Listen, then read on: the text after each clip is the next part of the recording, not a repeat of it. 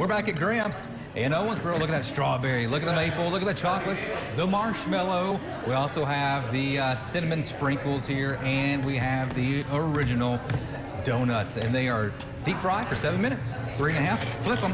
Now, of course, you're thinking, okay, I got donuts. I got something sweet. I need coffee.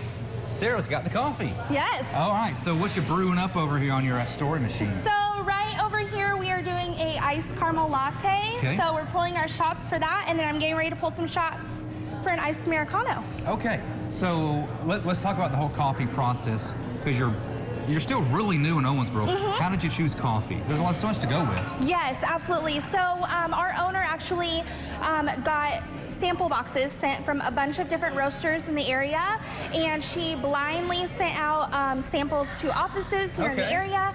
And every single time, everyone loved Onyx uh, Coffee Labs. Well, there you go. Yeah. That's the way to do it. So that is the one that we went with.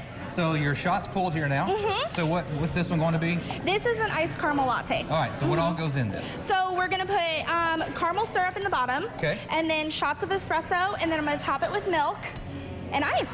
All right. Let's it's do it. It's real simple, yeah. Let's do it.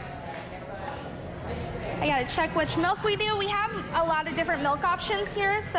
Oh, so Yeah. you ask people what kind they prefer. Yeah, so we do whole milk by default, but Okay. we have 2%. We have oat milk if people can't have dairy. Yep. Um, oat milk is a really good one, so.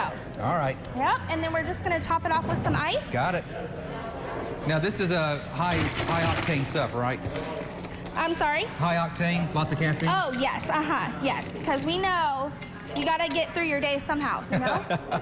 Now coffee's nothing new to you, right? I mean, you're Right. for a while. yeah, yeah, I've been in coffee for about two years or so. Okay. So I love it. It's so much fun, and it's a great way to connect with new people. Oh, how fun. Yeah, so, yep, so this is our iced caramel latte there. The iced caramel latte, look at there, at Gramps. It is in Owensboro. You're gonna get those donuts, you're gonna get your coffee as well.